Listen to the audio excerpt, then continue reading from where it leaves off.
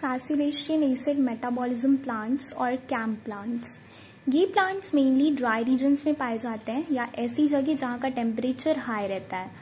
और उस जगह पे डे लाइट में सन काफ़ी तेज़ होता है, यानी लाइट बहुत तेज़ आती है. तो जो प्लांट्स हैं वो अपना स्टोमेटा ओपन नहीं करना चाहते हैं क्योंकि इससे उनका जो वाटर है वो ज़्यादा लॉस हो जाएगा. और वो अपने वाटर को कम से कम लॉस करना चाहते हैं क्योंकि वहाँ पे जो रीजन है वो ड्राई बहुत रहता है। बट इससे ये अपने वाटर को तो बचा सकते हैं, लेकिन अगर ये अपने स्टोमेटा क्लोज कर रहे हैं डे लाइट में तो लाइट एंटर नहीं कर पाएगा और ना ही कार्बन डाइऑक्साइड एंटर कर पाएगा तो लाइट रिएक्शन भी नहीं होगी और ग्लूकोज का फॉर्मेशन भी नहीं हो पाएगा। इसलिए ये स्टोमेटा को अपने नाइट टाइम में ओपन करते हैं, जिस टाइम पे कार्बन डाइऑक्साइड इनके अंदर एंटर कर जाता है और स्टोमेटा डे लाइट में ये क्लोज कर देते हैं।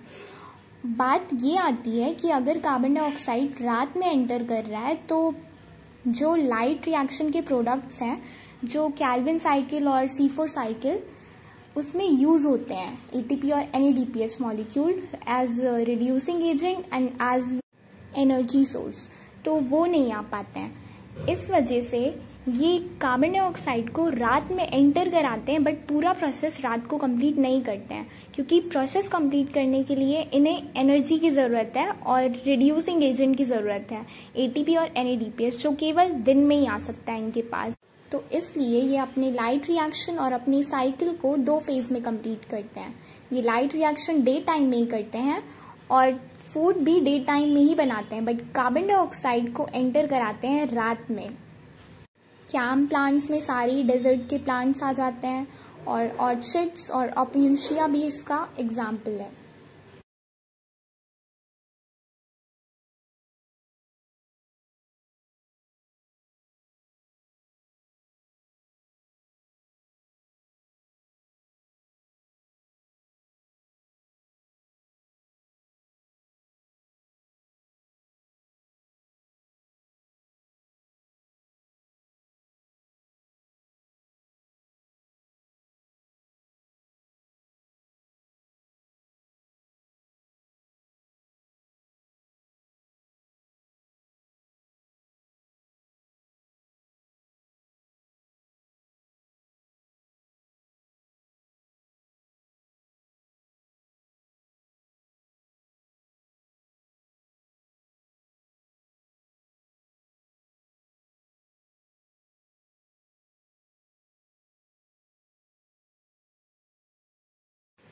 तो ये साइकिल है कैम प्लांट्स का। इसमें भी सी फोर साइकिल जैसा ही होता है बट इसका फ़ेज़ अलग होता है, यानी कि ये दो फ़ेज़ में कंप्लीट होता है।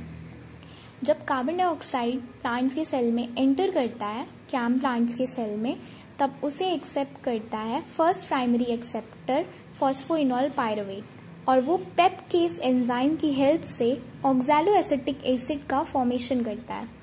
और ऑक्जेलो एसिटिक एसिड कन्वर्ट होता है मैलिक एसिड में या मेलेट में और वो मेलेट जा करके स्टोर हो जाता है वैक्यूल में।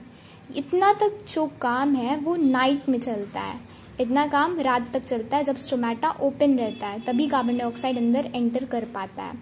फिर जैसे ही सुबह होती है, वैसे स्टोमेटा क्लोज हो जाता है और जो मैलेट पहले से ही वैक्यूल में था, वो मैलेट निकलता है और उस उसका डीकार्बोक्सिलेशन होता है और उससे एक कार्बन डाइऑक्साइड निकलता है। वो कार्बन डाइऑक्साइड कैल्विन साइकिल में जाकर फिक्स हो जाता है और और इसी साइकिल से ग्लूकोज का फॉर्मेशन भी होता है। ये क्वेश्चन अराइज होता है कि कैम प्लांट्स में क्या फ़ोटो रेस्पिरेशन हो सकता है? हो सकता है क्योंकि पूरे डे टाइम में जो स्टोमेटा है वो क्लोज रहता है और उसके अंदर ऑक्सीजन जो पहले से ही होगा प्लांट के अंदर भी तो ऑक्सीजन होता है ना, तभी तो बाहर निकलता है ट्रांसपिरेशन प्रोसेस से। तो उसके अंदर पहले का जो भी ऑक्सीजन होगा, वो आर यू बी पी से ऐड हो सकता है और फॉर्म कर सकता है एक वेस्ट प्रोडक्ट लेकिन ये जो कैम प्लांट्स होते हैं, इनकी नीड ज़्यादा होती है ग्लूकोज बनाने की। तो ये फ़ोटो रेस्पिरेशन के ऊपर उतना ध्यान नहीं देते हैं। फ़ोटो रेस्पिरेशन होता है, मगर उतना नहीं। केवल ये अपने ग्लूकोज बनाने से ही मतलब रखते हैं इन्हें अपने खाने से मतलब होता है।